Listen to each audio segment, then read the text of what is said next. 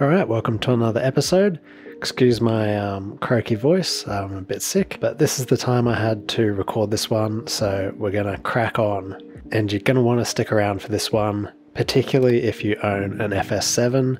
The parts discussed in this episode are to be really useful for people uh, who use FS7 cameras. So, in this episode, I'm to be going through the top plate, the bottom plate, and the um, V mount back plate uh, that are designed for the FS7 to go along with the SmallRig U shaped metal top plate. And I'm also going to be providing some links so people can download and print these themselves. So, how did this all start off? Um, it started off by me wanting more attachment points for quick release plate um, screw holes at the bottom of the camera. The FS7 from stock has a quarter 20 and a 3 8 16 uh, thread mount at the bottom for quick release plates. But I noticed that uh, with the very long lenses I use, um, that the weight of the lens um, was actually tilting and flexing the body a bit. So I wanted a way to have more mounting points at the bottom of the camera. So that's why I designed the bottom plate. And additionally, I also wanted a way to fill in the middle section of the top plate of the FS7. And that was very easily done.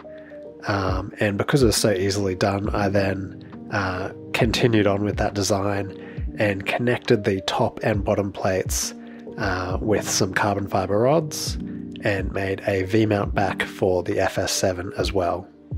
It was just a bit of a unfortunate coincidence or happy coincidence with the design that my previous V mount back for the FS7 um, that was like an off the shelf V mount back um, had died uh, soon before I was actually looking to design this. So I was um, motivated to make a new V mount back uh, with some very basic parts that I had. So I had some 15 millimeter rods, and I had a uh, blank V mount plate. Uh, so yeah, 3D printing to combine the top plate, the bottom plate, and that V mount back um, all together and to the camera, and connecting them all with that V mount back plate uh, and the carbon fiber rods uh, made the whole uh, top plate and uh, bottom plate uh, significantly more rigid as they sort of support each other. So, despite them being made out of plastic, um, they're yeah plenty strong to hold heavy batteries, and they have metal uh, brass thread inserts in the plastic, uh, so that you can screw in and screw out mounting screws in them. Um, yeah, pretty regularly and not wear out the threads.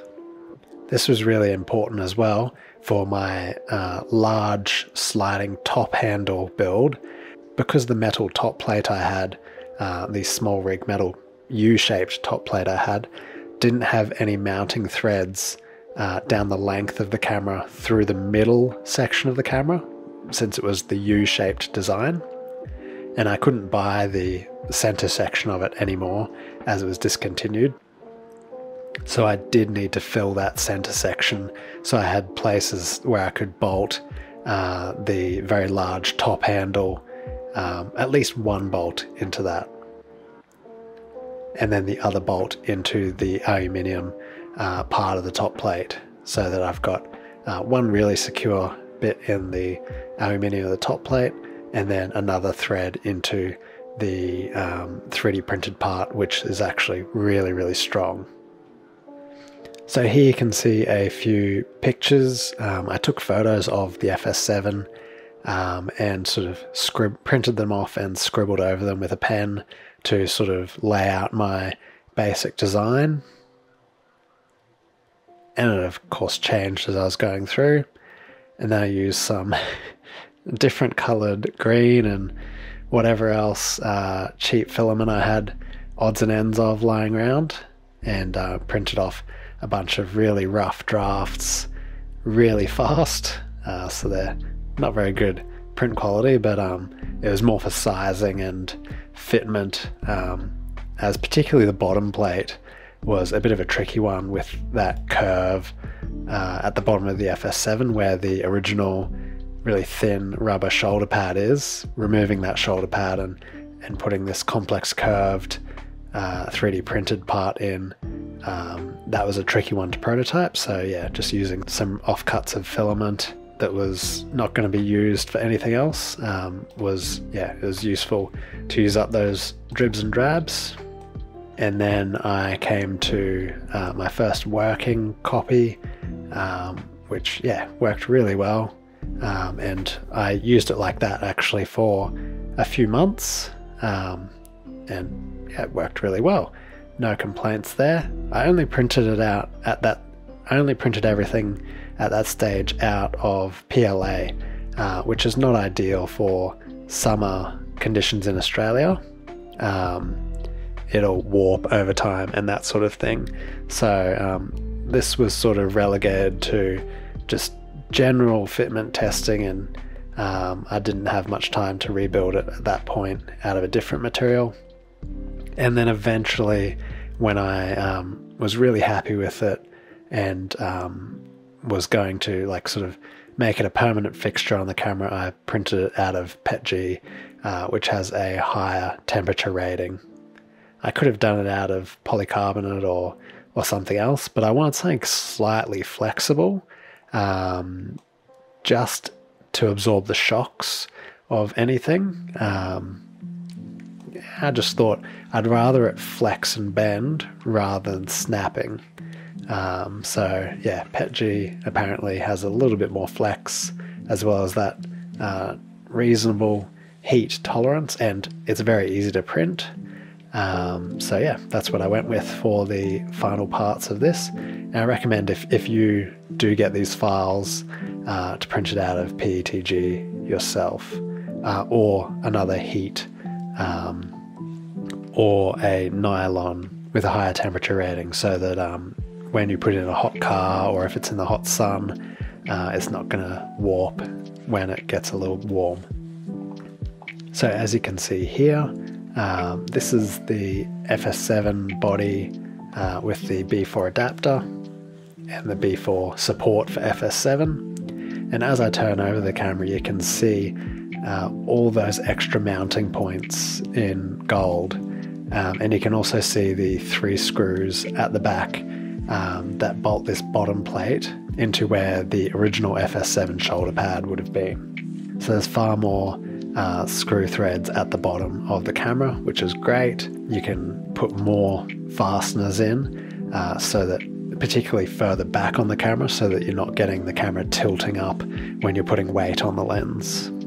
And then you can see on this side, I've also put um, two holes in the top plate and bottom plate on the side of it, on each side of it, um, so that I can put some extra threaded inserts in there to mount accessories or that sort of thing.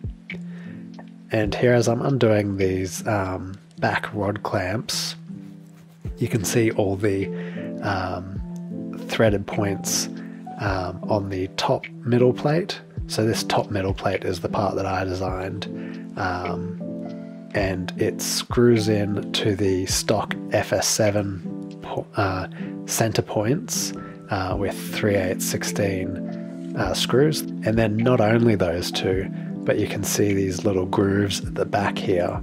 Um, I put screws in uh, horizontally into the U-shaped SmallRig top plate. So there's quarter 20 screws going in here as well on each side. So there's four screws attaching the 3D printed um, center top plate part to the uh, U-shaped SmallRig top plate part. And then, um, yeah, I've got rod clamps at the back, which I'm undoing here, and they go into threaded points um, in the back of this camera top plate. Those vertical rods are what hold the carbon fiber rods uh, that hold the V mount plate on the back. This V mount plate is a very simple design. Uh, it's basically a V mount plate um, onto a large flat section of 3D print with um, four holes in it with brass threaded inserts in there. And then um, I've got uh, the 15 millimeter holes going through and down uh, through the back of that uh, 3D printed plastic part.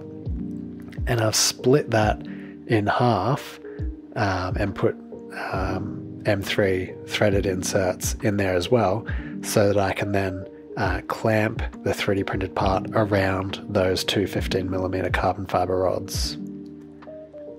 That keeps the rods in position and then I can just slot them on the bottom section there which is also mounted to the bottom plate by some uh, quarter 20 threaded inserts as well. Lots of quarter 20 threaded inserts used in these parts, but that's good. It gives us lots of mounting points and they're really strong. Uh, with the rod clamps off here, that shows the back of the camera. And yes, you can use the V-mount back plate with a BPU battery inside. Uh, it all fits around easy enough.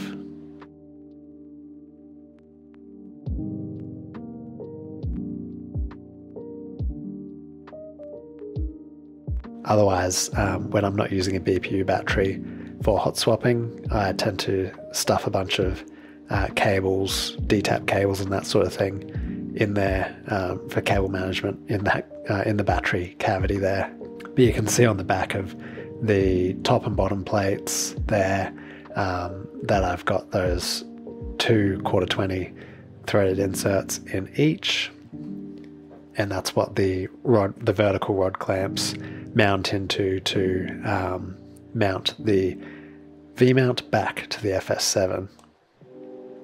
So, yeah, that's the uh, 3D printed top and bottom plate for the FS7, as well as the V mount back that goes with these top and bottom plates.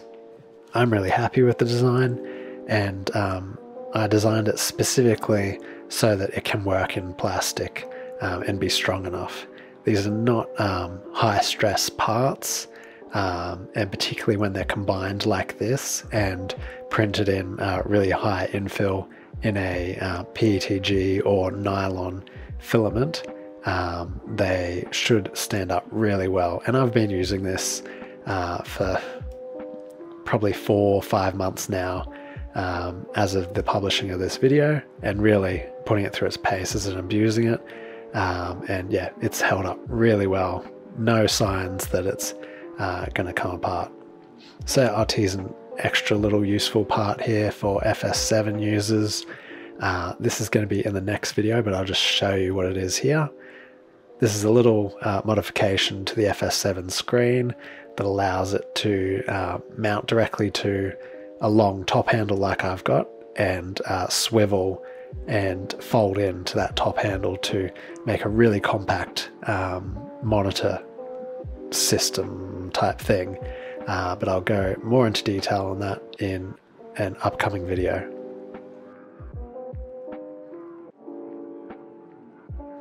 So I hope you found that interesting. If you've got any questions, go ahead and post them down below. I'll get you some answers. Otherwise, let me know what you think of this. Do you think this is a good idea? It's worked really well for me for ages now. Um, but yeah, I'm really convinced that it was a good design.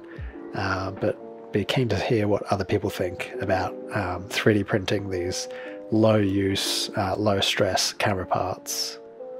If anybody wants links to the exact uh, heat set inserts and bolts and everything that I use for this and carbon fiber rods, um, I'll have some links down in the description.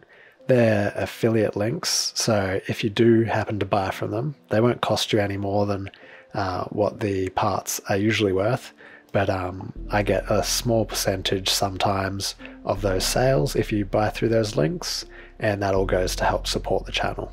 All right, until next time, I'll see you then.